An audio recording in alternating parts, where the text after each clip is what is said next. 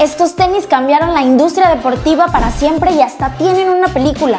Aunque no fueron los primeros en ser creados para un jugador de baloncesto, los Air Jordan revolucionaron la forma de hacer marketing y de comercializar el deporte. Antes de las Jordan, los tenis más usados en los partidos de baloncesto eran de diferentes marcas, pero todo cambió cuando en 1984 Michael Jordan salió a la cancha con un par de Nike Airships. Michael Jordan quería ser un jugador distinto y Nike le ofreció la oportunidad de serlo con un calzado que integraba la mejor tecnología para el deporte. El resultado fueron los tenis blancos con negro y rojo. Casi 30 años de su lanzamiento, las Air Jordan de Nike siguen dominando el mercado de las zapatillas deportivas. Y ahora hay una tienda exclusiva de esta marca en Ciudad de México. Con la intención de expandir el deporte e inspirar a más atletas, estas dos marcas crearon un punto de venta único en su tipo, World of Flight Mexico City. El espacio comercial más grande de la compañía y el primero de la marca Jordan en toda Latinoamérica. El piso 2 y 3 de la tienda están dedicados a toda la experiencia Nike, mientras que parte del primer piso está dedicado exclusivamente a Jordan y al mundo del baloncesto.